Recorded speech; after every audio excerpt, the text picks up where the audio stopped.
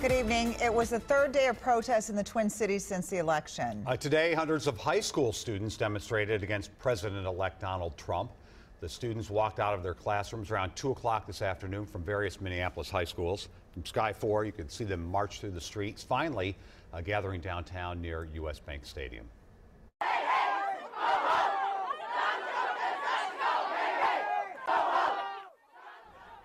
In addition to that, in a dump Trump chant, the students also chanted, We are united.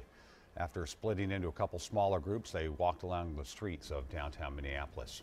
For the past couple of days, a few Twin Cities schools have been dealing with racist messages. On Wednesday, a hate message was written in a locker room at Maple Grove High School.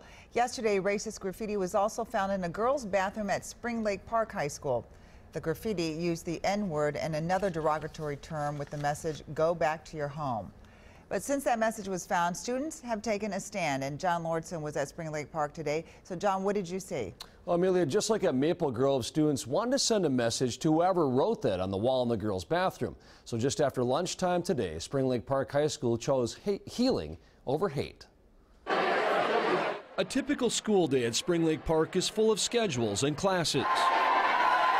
But this afternoon, it was the students who were giving the lessons, teaching each other that any kind of hate is not welcome. The fact that we're coming all together to do this kind of shows that like people who um, agree with the hurtful comments that it's not right. It's really sad that in today in Minnesota in the United States that we can still experience discrimination and harassment like that. It was a racist message left in the girls' bathroom that led to more than 300 messages left in the rotunda and in front of the school. Messages promoting love, healing, and equality. I'm a senior. I don't want to graduate hating the other people in my class, you know. I want to love them and I want all of them to love me and just be equal, you know. Iselina George organized today's rally. She says she was disgusted this happened in her school and saw an opportunity to bring change. I'm very proud of it. I'm so happy that all the kids are coming together. And yes, there's still gonna be negative thoughts and all the bad things still gonna happen, but with all the positivity and everyone like loving each other and showing that they're like one is just awesome to me.